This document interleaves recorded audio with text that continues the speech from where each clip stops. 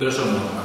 O sea, eh, cuando se da un cambio histórico de la dimensión del que se ha dado aquí, es normal que, que, que aparezcan dudas, que, que, haya pasos atrás y pasos adelante. Yo, yo, para mí no es un problema serio esto. Yo, yo, he tenido la suerte como periodista de vivir muchas independencias, como reportero, como corresponsal, y siempre ha pasado lo mismo. Hay un momento de euforia, baja de euforia, pero ya estás en estadio, sube la euforia, baja, pero estás en otro estadio.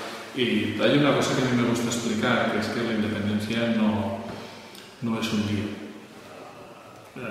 Nosotros tenemos mucho la tendencia a pensar en la independencia como una especie de noche de reyes al oeste, que vas a dormir independiente, te despiertas independiente, la calle está llena de paquetes con lacitos, eso no pasa. La independencia no se nota para nada. Se nota al cabo de 10 años, en el momento de no. De hecho, creo que hay una comparación que es sencilla de hacer y yo la hago mucho. ¿no? La gente que vivió la transición siempre le pregunto qué día empezó la democracia y nadie sabe qué responder. Porque que empezó el 15J que ganó las primeras elecciones, hombre, muy dudoso.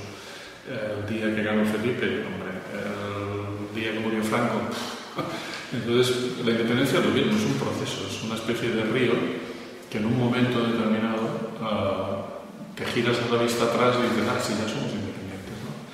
Y yo creo que lo importante en este caso es que la independencia de Cataluña ya ha empezado. El, el río ya, ya fluye, ¿no? fluyó el 11 de septiembre, fluyó, que es importantísimo y fundamental el día de la declaración de soberanía, y continúa fluyendo. Por tanto, yo creo que llegará un momento en, en el cual el río tiene meandros, da vueltas, no sé qué, pero llega un momento en el cual te giras atrás y dices, ahí vas, ya, ya somos independientes, ¿no? Y esto me parece que será el camino, el camino que se va, que se va a seguir. Claro, que haya gente que tiene mucha prisa, gente que quiere, bueno, esto es normal, estamos hablando de un proceso como nunca eh, se ha hecho, ¿no? eh, nuestro país nunca eh, ha entrado en esta vía y por tanto es normal que haya dudas y que haya problemas y que, haya, y que cometamos errores. Si no cometiéramos un error no seríamos catalanes.